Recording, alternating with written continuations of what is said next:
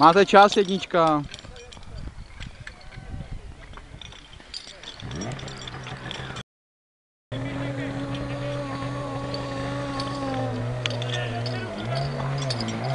Vy nemůžete.